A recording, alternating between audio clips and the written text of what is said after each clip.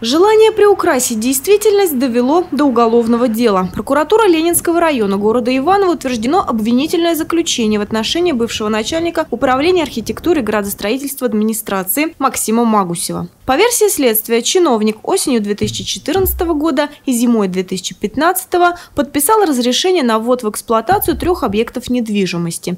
Это многоквартирные дома в микрорайоне Рождественский. При этом заявитель компания ДСК не предоставила ряд документов, в том числе и подтверждающих соответствие построенных домов техническим условиям.